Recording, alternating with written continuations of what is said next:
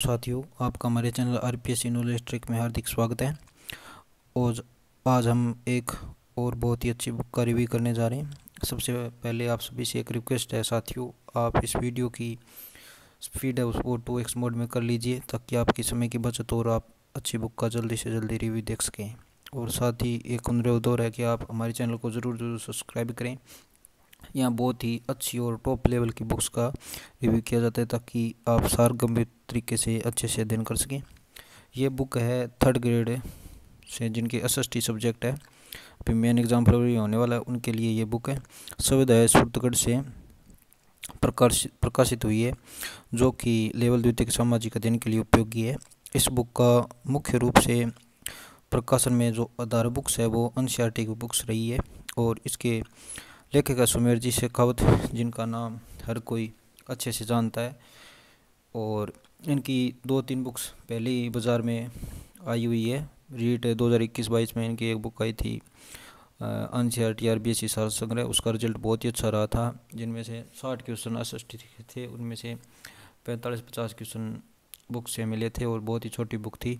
इनकी बुक्स का रिकॉर्ड बहुत ही अच्छा रहा है और ये बुक्स बहुत ज़्यादा बड़ी नहीं होती और बहुत ही ज़्यादा छोटी भी नहीं होती। और इन बुक से क्वेश्चन मुश्किल से ही बाहर से आता है और जो सिलेक्शन के लेवल के क्वेश्चन है वो इस बुक से बाहर नहीं जाते ये आज तक इनका रिकॉर्ड रहा है। तभी मैं इस बुक का रिव्यू कर रहा हूँ क्योंकि इसका रिज़ल्ट बहुत ही अच्छा आ रहा है और जिन्होंने ये खरीदी है, जो पढ़ रहे हैं, उनका रिव्यू बहुत अच्छा आपको भी इस बुक के बारे में ज़रूर सोचना चाहिए क्योंकि एक बुक अगर आप सही बुक के निर्देशन में सही बुक का सिलेक्शन ले लेते हो तो आपका सिलेक्शन भी उतना ही श्योर हो जाता है। इस बुक की कुछ खास बातें उनके बारे में हम चर्चा करेंगे सबसे पहले इस बुक पे विश्वास करने के लिए एक नाम है सुमेर जी सर, जिनका नाम हर कोई अच्छे से जानता हो, जिनकी बुक्स और जिनके निर्देशन में चल रहा सुविधा सुरतगढ़ जो अकेडमी है, उनका जो रिज़ल्ट का रिकॉर्ड है, वो उतना ही काफ़ी है कि आप इस बुक पे विश्वास कर सकें। दूसरा, इस बुक का जो आधार है, वो बोर्ड की किताबें रही है, ना कि बहुत बड़ी बड़ी गाइड है। और तीसरी ये बात है, इस बुक की बहुत ही अच्छी है कि इस बुक को लिखने में बहुत ही ध्यान रखा गया है कि इसमें ज़्यादा मैटर ना डाला जाए और जो लेवल है थर्ड ग्रेड का उसी हिसाब से उस बुक को रखा जाए।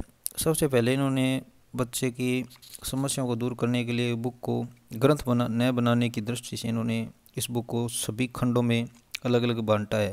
जैसे इतिहास खंड एक आ गया, जैसे भूगोल आ गया, उसी प्रकार राजव्यवस्था आ गया, भारतीय अर्थव्यवस्था। उसी प्रकार, जिससे इस, ये बर्डन कम होता है कि स्टूडेंट की कि ये बुक बड़ी तो है, लेकिन इसके अंदर चार भाग हो गए, जिससे बच्चे को पढ़ने में आसानी होती है और टॉपिक को, को अलग अलग बांटने में प्रॉब्लम नहीं होती। यहाँ देखो इतिहास के जो टॉपिक है सात टॉपिक इन्होंने अलग से दिए फिर भूगोल के जो टॉपिक है वो एक साथ दे दिए फिर राजव्यवस्था के जो टॉपिक है वो उन्होंने आगे दे दिए फिर लास्ट में भारतीय अर्थव्यवस्था के टॉपिक वो रख दिए इस प्रकार सृष्टि के पूरे सिलेबस को अच्छी तरह से पॉइंट टू पॉइंट कवर करने की यहाँ पूरा प्रयास किया गया है। सबसे पहले सिंधु घाटी सभ्यता के बारे में इन्होंने थोड़ा सा आपको दिखाता हूँ। पहले चैप्टर में इन्होंने ये अच्छे से दो स्लाइड में एक पेज में कवर करने की कोशिश की और जो इम्पोर्टेंट फैक्ट्स हैं उनको हाईलाइट किए और जो पूरी बुक लिखी गई है वो point to point one liner को ध्यान में रखते लिखी हुई है ताकि आपको ये बुक ग्रंथ न लग, एक नोट सा लगे। आप ध्यान से देख सकते हैं, इनको पोज करके भी इन जो लिखने का तरीका है, जैसे ये मुख्य बातें थी जिनको बार बार रिवाइज करना पड़ता है और याद करने के लिए इनको उन्होंने बुक्स में दिया है। ये बहुत ही अच्छी बात है ताकि ज़्यादा से ज़्यादा बार पढ़ेंगे तो याद ज़्यादा रहेगा। ये महाजन पद का अलग है चैप्टर इस प्रकार उन्होंने बहुत ही यहाँ देखो अक्षांश देशांतर को इन्होंने विथ डायग्राम जहाँ डायग्राम की ज़रूरत है, वहाँ डायग्राम दिया, जहाँ सारणी की ज़रूरत है, वहाँ सारणी दिया, जहाँ हाईलाइट करने की ज़रूरत है, वहाँ हाईलाइट किया है। और हर लेवल से इस बुक को बहुत अच्छे से प्रकाशित किया है। कुछ बुक्स में ये खामियाँ होती है कि बुक्स बुक्स में मैटर तो अच्छा होता है, लेकिन वो सही तरीके से व्यवस्थित नहीं होता। तो बच्चों को पढ़ने में बहुत दिक्कत आती है और बोरिंग लगती है, जिनसे वो खरीद के ले तो आते हैं, जैसे लक्ष्य बुक है, उसमें मैटर बहुत अच्छा लेकिन इतना बुरी तरह से इन वर्ड्स को घुसाया है छोटे छोटे तो बच्चा पाँच, दस, पंद्रह पेज पढ़ता है, पचास पेज पढ़ लेता है, सौ पेज फिर वो बुक से दूर हो जाता है। उसका इंटरेस्ट नहीं होता। सबसे पहले बुक में इंटरेस्ट होना बहुत ज़रूरी है ताकि आप बुक्स को अच्छे से कवर कर सको, फिर उसको दो तीन बार रिवाइज कर सको ताकि आपको अलग से नोट्स वगैरह ना बनाना पड़े। ये देखो जहाँ इन्होंने सागर समीर के जहाँ चित्र की आवश्यकता, वहाँ इन्होंने चित्र का बहुत अच्छे से यूज़ किया है। और यहाँ महासागर ज्वार बाटा को देखो यहाँ बहुत अच्छे से ये विथ डायग्राम के द्वारा इन्होंने बताया। सब्जेक्ट एक तो सब्जेक्ट वाइज मैटर है, दूसरा इसमें टॉपिक वाइज मैटर है। तीसरा मैटर का आधार है, बोर्ड की बुक्स हैं।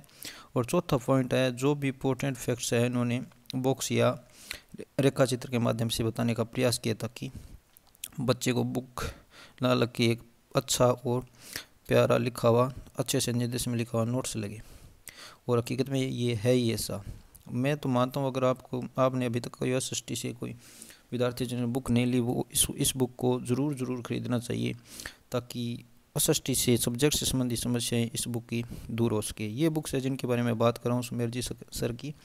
ये बुक्स है, ये ये ये बुक है रीड स्तर दो वाली। इसका बहुत अच्छा रिकॉर्ड रहा था।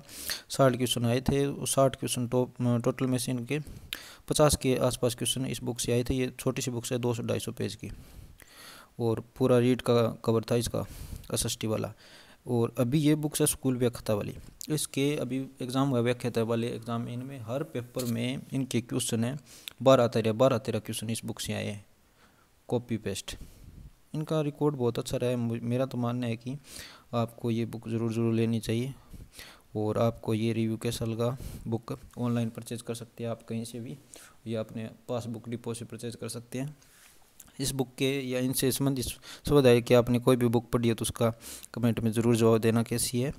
और ये रिव्यू कैसा लगा आपको? और हमारे चैनल से ज़रूर जुड़े। धन्यवाद। जय हिंद, जय भारत।